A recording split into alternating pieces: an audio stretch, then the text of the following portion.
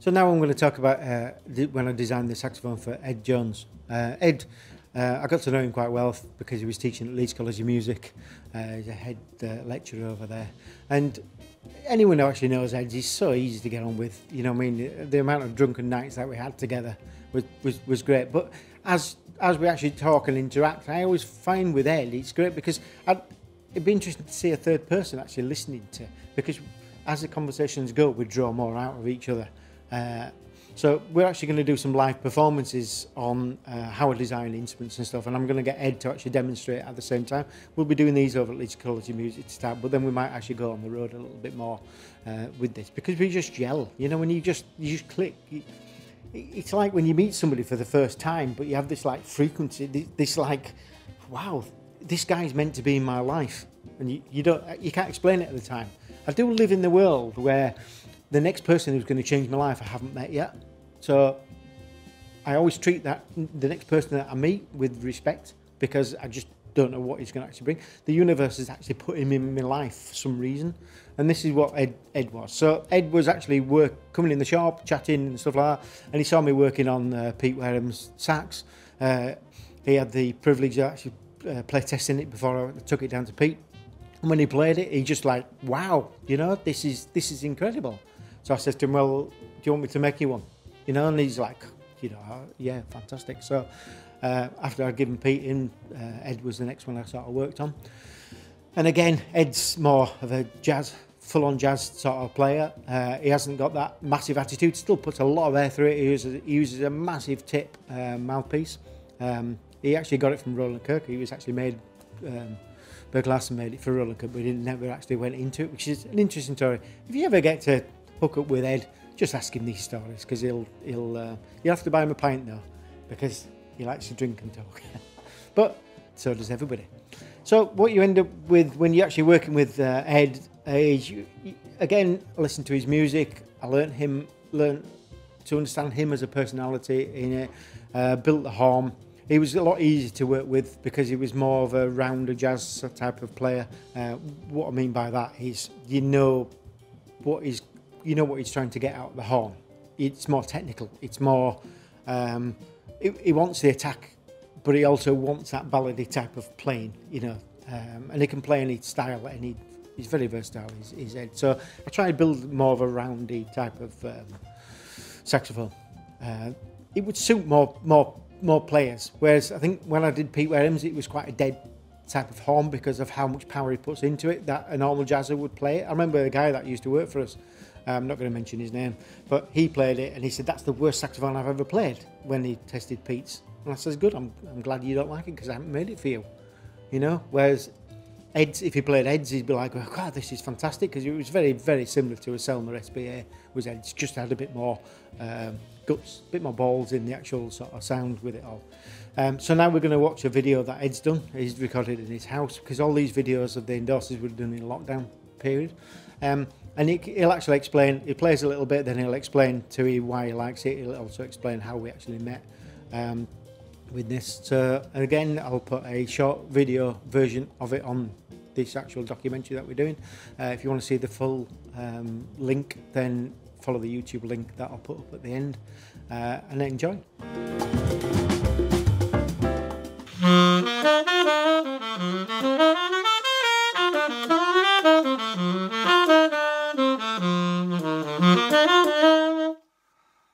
Thank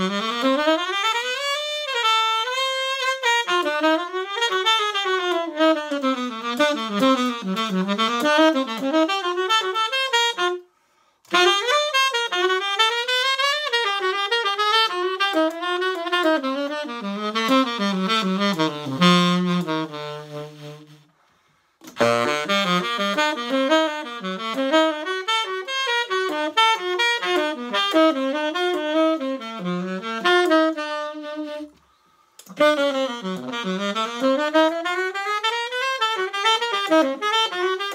Thank you.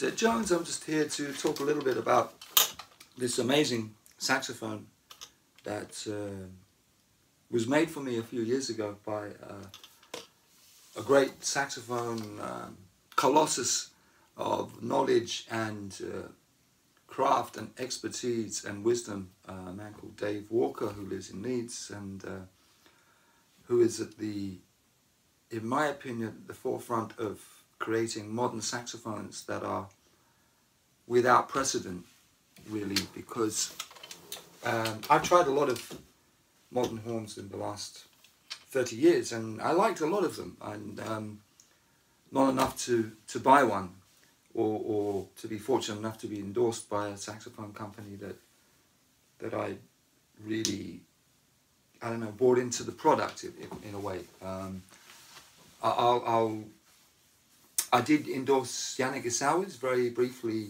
in the 1990s, um, and they wanted me to. They wanted me to play their tenor, and I, I was very honest with them, and I said, "Look, it's a, it's a good horn, but it's not as good as my Selmer SBA super balanced action. There's nowhere, there's no comparison. I mean, it's, you know, it's a really good horn, but uh, this is the horn that I love, and it's my horn, and so it didn't really come to anything. I, I, I, I played their sopranos for a while, and the sopranos are nice. Don't get me wrong. They're, you know, I'm not here to slag off other saxophones, um, but anyway, to cut a long story short, I've been play, I was playing my Selmer SBA for nearly, well, over 25 years. Let's cut a long story short. Over 25 years. Same mouthpiece. Berg Larsen, 145 over 1. No, sorry, 140 over 1, which was, is a 10 star. Uh, the mouthpiece was made for Roland Kirk uh, at the Berg Larsen factory and he never picked it up. And I was very fortunate to come across it at some point and it kind of blew me away. It had been altered, it had been opened up to an 11 star. At that point I was playing very open mouthpieces, well I still do. Um, we'll get into that a little bit later. But um, to cut a long story short, I wasn't looking for a new saxophone. I wasn't looking for a new mouthpiece. And about five years ago, uh, I went to see Dave. Uh, Walker at his woodwind and brass shop in Leeds, which is just around the corner from where I teach at Leeds College of Music. And he showed me a prototype of this model and said, you want to try it? And I tried it. And the sound was amazing. I mean, it was just fabulous, fantastic sound.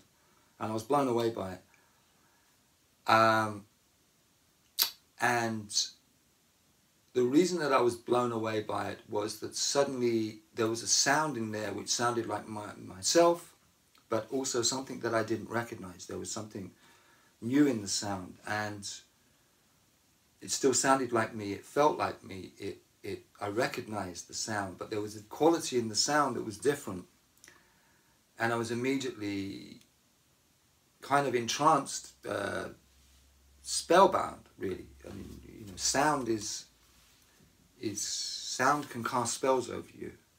Even your own sound can, you know, can cast spells over you. Well, you know, that's that's another thing. If you really get into sound, it, it's that's that's what frequencies do. They they they when they hit you in the right spot, then they they cast a spell over you. I think, in my humble opinion, I would I would add.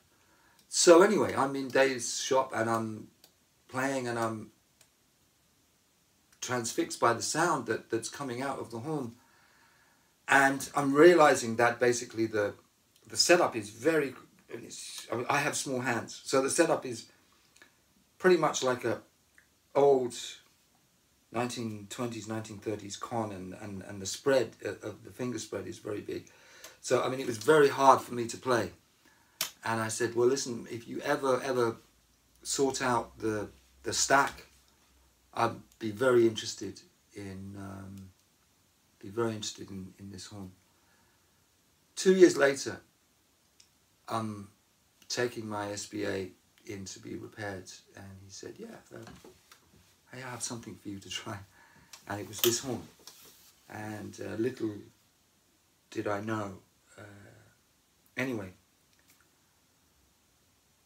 I, I, the same thing happened. I, I, I blew it, and I was just like, wow, wow, this is this is amazing. It, it's again, it was something that sounded familiar. It sounded like me, but something different was there. There was an essence. There was a essence in the sound. There was something in the sound that was that was different. I was very, very, very hooked and very intrigued. So at the end of about, I don't know, what seemed to be an hour, but was probably only ten minutes. I, I remember saying to Dave, "Wow, how much does one of these cost?"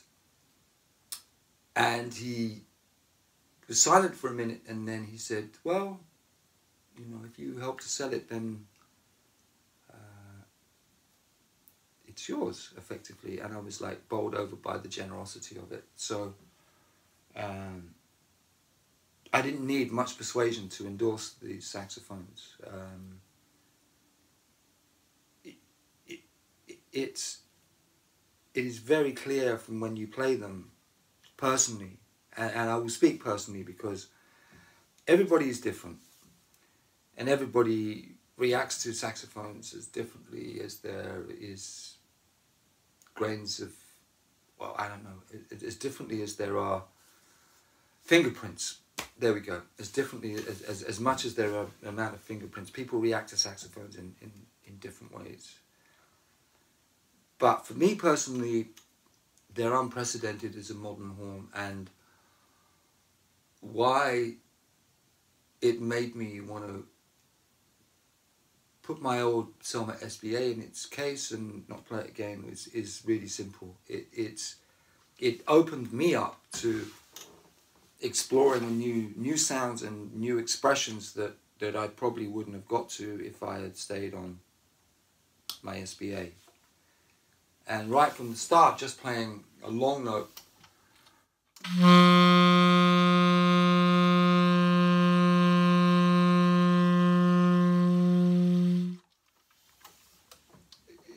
Richness of the sound, the the ease with the creation of the air column and, and pushing the air column through the horn and the, the ease of the upper register particularly.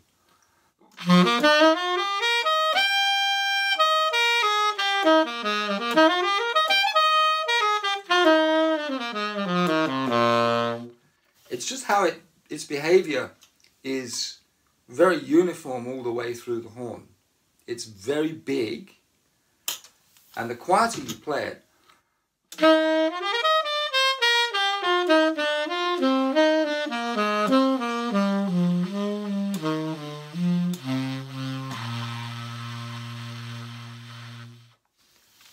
it still retains its presence. When you overblow it,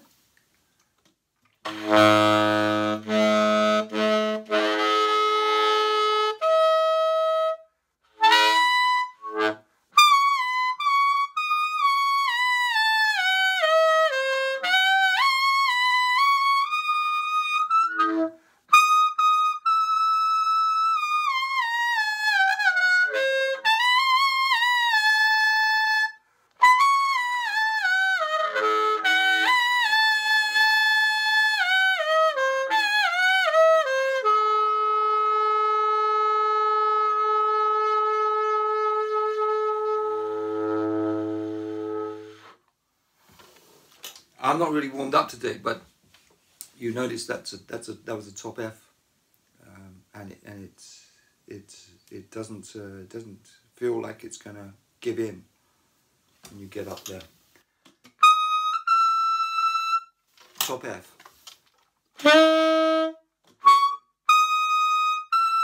Here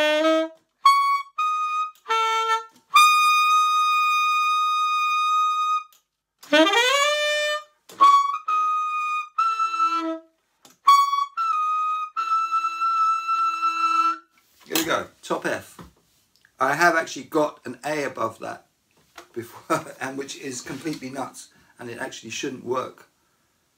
Uh, but that's top F, and I'm not straining to get it.